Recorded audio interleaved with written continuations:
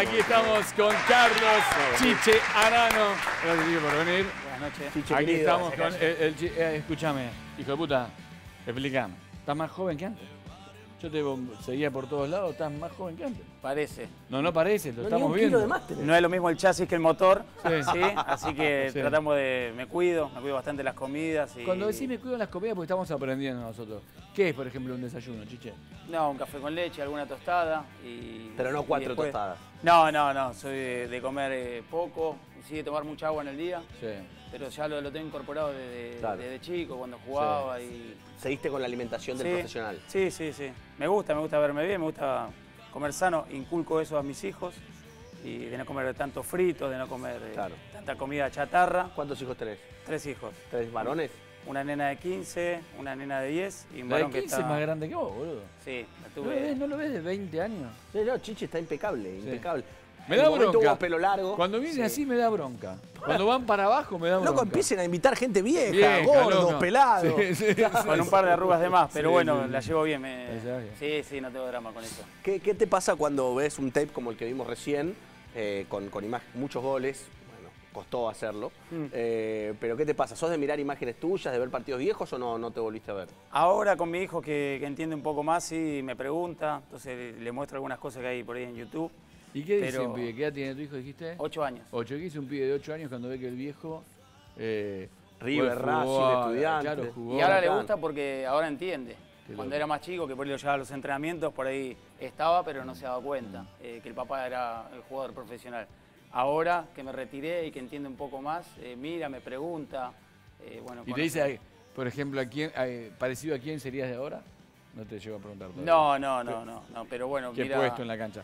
Estás, estás con los juveniles de Racing. estoy en la reserva de Racing, sí, hace un año y medio, Bien. con el Lagarto Fleit- Sí, con el Fleitas, Lagarto, sí, sí. yo de ayudante de campo de él. ¿Cómo anda que, Lagarto? bien, muy bien. De salud está bien, ¿no? Sí, una persona muy sana, muy noble, buena gente, muy capacitada y ¿Vos bueno, no llegaste a jugar disfrutando. No, yo le alcancé pelotas a él. ¿En serio? Sí, sí, la otra vez le mandé una foto, eh, que él está en el equipo, yo al lado alcanzando pelotas. A él, al Piojo, Al Turco, al García, que al también Turco, trabaja en Racing, a- estaba de la Libera a también. Nacho González. Nacho, mirá. Sí, sí, sí. Eh, no los quiero poner viejos, Pero son. pero son son, alcanza- un poquito más grandes que yo. Cuando uno es alcanzapelotas, esto no, no lo hemos hablado acá, eh, alcanzapelotas es como, en el momento que vos no sabés si vas a llegar o no, debe ser lo máximo, Es ¿no? un Debe ser- sueño. es un sueño. Es un sueño porque estás al lado de los jugadores, los tocas. Eh, a mí me pasó una vez que en un partido de Racing River me alcanzó una pelota a Francescoli. Entre tiempo quedaron dos pelotas y él la saca por un costado y yo justo estaba ahí. Le levanto los brazos y me la tiró. Y me quedé con la pelota y si me la tiró Francescoli, me la tiró Francescoli. Esas cosas que, bueno, que uno... Francesco ni registra. No, ¿Y, co- o- y claro compa- que no. ¿Y compañeros tuyos alcanza pelota después también fueron jugadores? Eh, sí, bueno, Diego Milito, Mira, también, Diego. sí, es un año más grande que yo, pero compartimos edad en cuarta y también eh, llegó. eh, por ahí, Vaya si llegó. la camada nuestra por ahí no fue de las mejores por el, el lío que había en el club, Claro. que le tocó la quiebra y, y bueno, por ahí no llegaban tantos juveniles. Qué quilombo de esa época, ¿no? Qué difícil que Y fue. ¿no? duro. Para nosotros lo- los juveniles de ese momento, duro porque íbamos a entrenar a algún predio y viajamos una hora en micro y estaba cerrado el predio. No. Volvíamos, al otro día íbamos a entrenar y pasaba lo mismo y prácticamente jugabas el partido el sábado Sin haber entrenado. sin haber entrenado. Así no tenía un mango, no tenía pelota, no. No tenían nada. Devastado, devastado. Es increíble porque eso obviamente perjudica al club ni hablar. eh, pero la, la ilusión de los pibes, los que ustedes que en ese momento eran pibes de llegar a primera, de poder dedicarse a esto, muchos habrán quedado en el camino también por, por esto, no entrenarse bien, no, no, un montón de cosas. Sí, mucho eso, mucho también el hambre de querer llegar, de querer ayudar al club.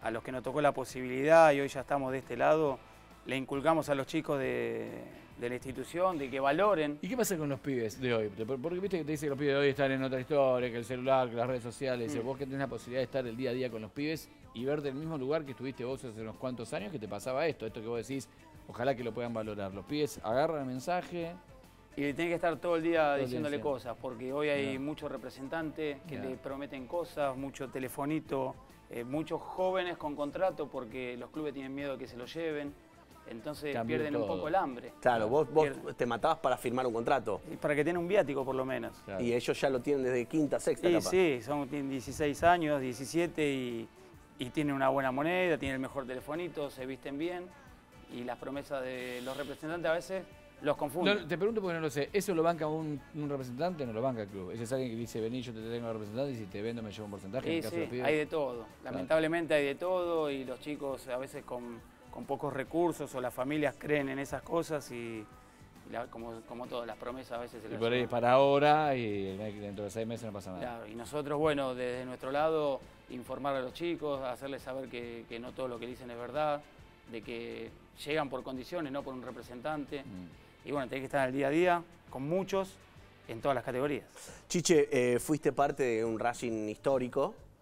Eh, ¿qué, recuerdo tenés de, aquella, de aquella academia? Y los mejores, eh, seguimos siendo amigos entre todos, estamos en un grupo. eh, a todos los que nos tocó ese momento nos llena de orgullo ser parte de la historia grande, porque han pasado los mejores jugadores quizá por Racing, grandes entrenadores y no tuvieron la posibilidad de, de poder cortar esa racha. Y nos tocó a nosotros y, y bueno, tocado con la varita, porque la verdad que quizá no, no brillamos, pero era un equipo que, que tenía mucha hambre, mucho huevo, ganas de ganar y, y bueno, afortunado de poder ser parte de la historia. Y eh, en tu caso particular, vos decime si me equivoco, pero creo que cumpliste un sueño de muchos argentinos, que es eh, debutar. Vos sos hincha de Racing, ¿o Sí, ¿no? sí, Por eso, yo creo que tengo la idea como que sos hincha fanático de Racing de siempre, como que debutaste en tu club, hiciste las inferiores, eh, eras un pibe, jugaste, fuiste campeón. Eh, no, no sé cuánto más soñamos los argentinos futboleros, digo. Sí, yo decía que, o digo que mm, soy uno de, de la, de la hinchada que saltó y le tocó salir campeón, cumplir el sueño de por ahí cualquier hincha. A mí me tocó estar de los cuatro años en el club a- y, y ya y- pasar toda infantil, inferiores, todo, debutar en el club, que era mi sueño, y después cuando estás ahí, obviamente soñás con salir campeón, pero es muy difícil salir Sí, campeón. claro. Y sobre todo en un club con la historia negra que tenía, oscura, claro. Y ser partícipe de eso, eh, yo si me retiraba en ese momento estaba bárbaro. Ay, 21 claro. años recién empezaba. Sí, sí, sí, sí, sí, pero, pero bueno, después viene todo lo Sí, otro. pero que aparte de pendejo, claro, te tocó de pendejo. Y era uno de los más chicos del plantel, 21. Recordá el plantel, estábamos charlando del plantel. ¿Quién estaba ahí? Milito, Maceratesi, Chanchi Esteves, Chatruc, eh, Chatruc, Chatruc. Campañolo, Estaba- Úbeda, Loesbor, Maciel, Vitali, Bedoya, estaba. El polaco, sí. Sí, jugando el eh, polaco. Gustavo Esqueloto. Esqueloto. El polaco sigue jugando, ¿no? En Colón. El polaco sigue ¿no hay jugando, sí, sí, sí. Nada, una locura. La verdad, muy bien. Eh, y eh, ahora, ¿cómo es el fútbol también? Por eso está maravilloso, por eso nos gusta tanto, que cumpliste ese sueño, de fuiste campeón con Racing y te fuiste al descenso con River también. También. Las dos cosas eran impensadas, que Racing Sí. saliera campeón en ese momento era impensado también. y que River se fuera al descenso también era impensado. Sí, sí, y también me tocó una parte de una institución en un estado de locura total, en donde todo era desprolijo y lamentablemente termina con un desenlace fatal para el hincha. Para los que no toca estar eh, en ese plantel, también porque hicimos un torneo de 31 puntos, clasificando a Copa Sudamericana, pero eh, No estuvimos a la altura en, la- en las dos finales, entonces La segunda final, eh, si la memoria no me falla, JJ López te pone de 5 a vos. me pone de doble 5, sí, con Walter Acevedo. ¿Por qué? Porque Almeida estaba, tenía cinco amarillas, Ferrari tenía cinco amarillas, era un equipo, un plantel muy joven y, y bueno. quería alguien de experiencia. Sí, también hubo un- algunas discusiones porque era un momento de mucho nerviosismo, de a quién ponía, a quién sacaba y yo quería estar. Yo sabía que podía pasar esto o quedarnos en primera, pero quería dar la cara. Y vos dijiste, yo voy de 5. Yo O sea, juego, yo quiero jugar, yo Está quiero bien, jugar. pero eh, yo quiero estar. vos se lo pensás al técnico. ¿Y el técnico eh, te tenía en mente o vos decís yo quiero estar y quiero estar? No, no me tenía en mente para jugar. Sí. Pero bueno, hablando, discutiendo, eh, diciéndonos de todo, yo le pedí por favor que quería estar. que Ah, él no te tenía en mente para No, ponerte de 5. No, no. En la primera final juego Sí, de lateral, pero de tu puesto, en claro. mi puesto, y cuando en la revancha cambia el esquema y vuelvo a salir. Yo ese torneo no jugué mucho porque había cambiado el, el sistema y la verdad que le- el equipo le fue muy bien. Y en la final vuelve a cambiar el sistema, pero al no tener gente de experiencia, bueno, yo ¿Cómo fue pensaba que tenía que Vos te estar. acercaste a JJ y ¿qué le dijiste? No, de todo. De todo. Por lo que fue el momento, de todo. De todos son insultos. Con él, con Daniel también, sí, insultos, bueno. eh, nos dijimos todo, pero bueno, yo ¿Pero por qué? pensaba, ¿Por porque qué? yo quería estar. ¿A Pasarela también? Sí, también. No, se, no insulta a nadie a Pasarela. No, no, y yo creo que lo que hice está mal y pensando al tiempo digo, estoy, estoy loco. Porque, bueno, primero por el presidente de la institución y el hecho de faltar el respeto eh, no está bien, pero él entendió después con el tiempo, porque yo le pedí disculpas, que, que era el momento que estábamos viviendo entre todos y, nada, la verdad que quedé con buena relación, buena gente. Pero eh, eh, eh, explícanos esto. Vos vas y decís, JJ, pasarela, yo quiero jugar, vas a la de su madre, sí, todo sí, eso. Un poco, sí, un poco más elevado también. ¿Qué hay Más- más, ¿Por qué hay más elevado que eso? Nada, Más elevado, no, Elevado, matafuego. era el momento. Un matafuego. Es lo que vivíamos en el momento. Pero ¿por qué te pone?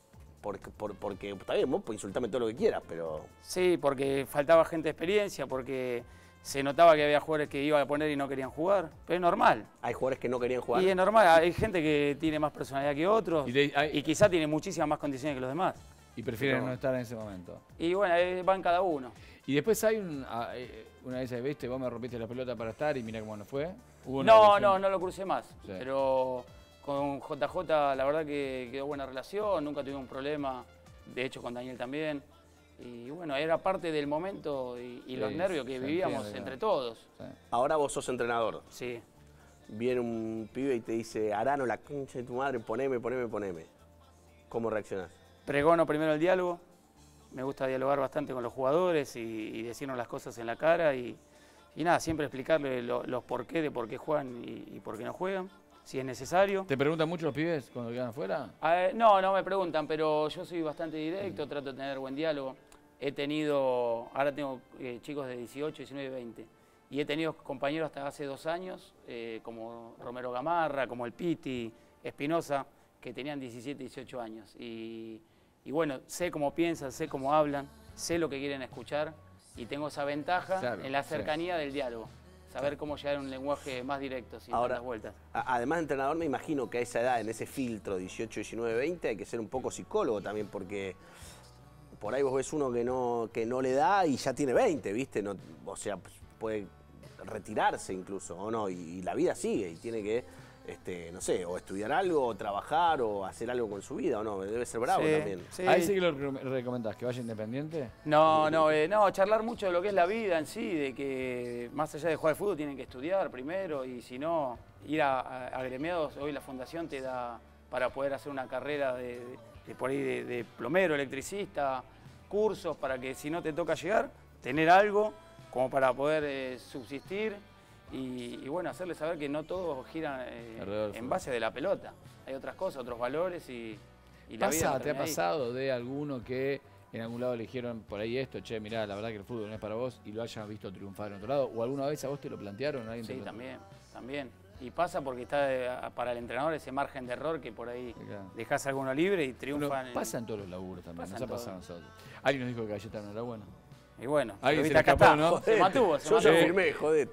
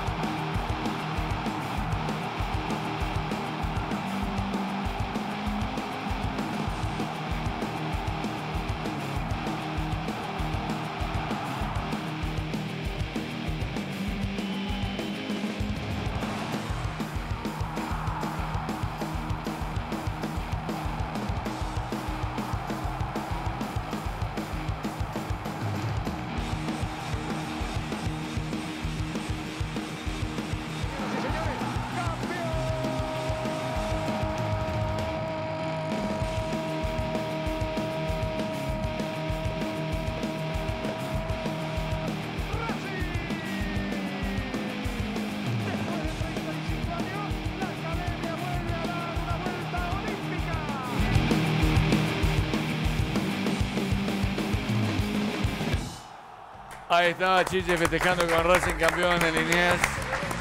Qué, qué bien, ¿eh? No, no, estaba pensando en, capaz que vos en la cabeza tenías como, ah, el fútbol no es tan difícil, ¿no? Debuto, salgo campeón en Racing, Y haber muchos títulos más, pero cuesta, Sí. ¿no? Cuesta, cuesta, cuesta. A veces está la buena, muy buena, y a veces está la mala. La mala. ¿Qué va a hacer? La Eh, tenés que luchar, esto es fútbol. Mi amigo Chiche Elano con ustedes. Aquí está Chiche Elano, fanático de Chiche. Hola Chiche, ¿cómo va? ¿Todo bien? Hola, Chiche Elano. Chiche Elano. ¿Todo bien? Chiche. Me paro, maestro. No, yo, yo me paro, maestro. Soy fanático de usted. Chiche Elano. ¿Cómo anda Chiche? Gracias, por, gracias invitarme. Sí, la carrera de, de, de Arano de siempre, desde De siempre. Lo que pasa es que traigo la Huracán porque para mí él la rompió en Huracán. Es que la rompió, Porque fue el efectivamente. tiki-tiki. Es verdad. Impresionante. Sí. ¿Sí? Pero, uno lo asocia, lo asocia mucho con Racing, pero hizo una buena campaña de Huracán Yo sé también. todo, yo sé todos los equipos Sí. que jugó. Él empezó en Racing, después jugó en Quilmes, jugó en Racing, de vuelta en Estudiante, en River, jugó que nadie sabe. ¿A dónde jugó en España? ¿A dónde jugó en el Polideportivo Ejido, señor? Mira, yo no la eh, sabía esa, no me En acordaba. Grecia, en el área salónica. Ari Salónica, Fue que no cobraba fue nunca. Italia, sí. fue a Eh, Italia y jugó, puede ser, en el Perugia, Perugia. Y, en, y en el Siena. Y en el Siena, los dos. Sí, no Campeón de Copa Argentina. ¿Y usted fue a todo, Argentina. al mundo, fue ah, para ver los partidos de él? Yo- bueno, a todo el mundo no pude ir porque no, te- no tenía la plata. eh, Claro. eh, ¿Qué tenés vos? ¿Qué te pensás? Que soy, Cayetano. que soy quién? Yo, Rockefeller. ¿Va a cantar? Eh, yo le hice el primer himno al Chicharán. Perdón, perdón, ¿eh? ¿Qué tengo? Ah, sí, te me dejo un... Es como que no tiene vidrio. Sí, bueno, eso, pero... eso es para ver de costado. Sí, Ah, para ver de costado. Ni de lejos ni de cerca, de costado. Bueno, eh, usted hizo el himno del Chicharano. El himno del Chicharano... eh, Que está registrado en Sadaic. Sí. Vio que la gente repre- eh, registra el Sadaic por las reproducciones. No, en Ah, no Spotify todavía Spotify. no lo aceptaron. Y En estamos, tra- Spotify, estamos sí. tratando de que lo metan en Spotify. ¿Se lo tiene así no queda Sí, sí, mirando para abajo? ¿O se lo apayo en algún lado para que mire? Así, así, apóyeme así. Aparte no tiene lente. Así, Sí. claro, Sí. por- así puedo leer. O le ponemos una banqueta con los Ahí dos. está, ya está, ya está. Ahí va. Porque si no me mira mucho para abajo y si mira para abajo se le escapan los huevos por los pantalones. Ah, acá está, acá Tiene está. problema, mire. Excelente. ¿Se vio? Sí, sí, sí, sí. Usted pida que Excelente. Lente, muy bien. Eh. Pida Bueno, que ver. nadie te hizo una canción. No. Todavía, Uní, ¿no? perdón, No, no, pará, no. Canciones hace cualquiera. Himnos, nadie. Nadie, nadie. Nadie. nadie. Este es el himno, el himno a Chicharano, que dice más o menos así. Si el micrófono, ahí está, ahí va. Va. Jugó en varios equipos, pero su calidad es la retina que da. Brilló en el globo de capa y fue campeón en Avellaneda. Con su nariz siempre al viento, volaba por el lateral. Tanto en la bombonera como en el monumental. Arano, Arano, Arano, qué jugador hermano. En Patricio Avellaneda,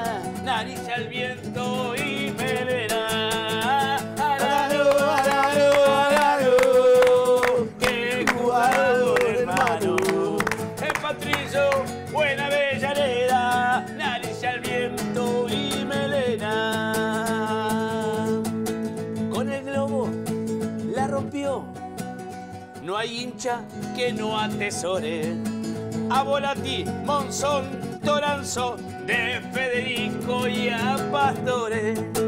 Con capa y su tiki tiki quedaron en la mejor historia.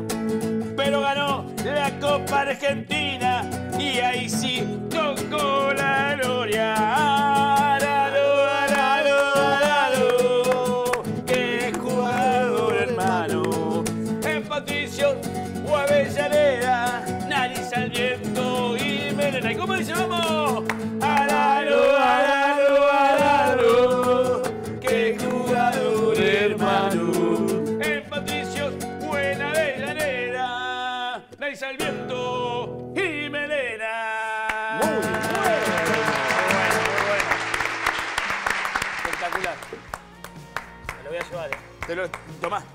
Lo regalo. Muchas gracias. Eso sí, si Lo vamos a subir a las redes. 20 luquitas para prestarme. No, que- eh, ¿qué hace? Sí, porque me chocaron de atrás. Ah, sí. En cuota. que Puede ser en hacer es chapar cuota. pintura. ¿Pero qué? Pero usted... Y bueno, Y una colaboración. Arano, atención. Arano, Arano, qué jugador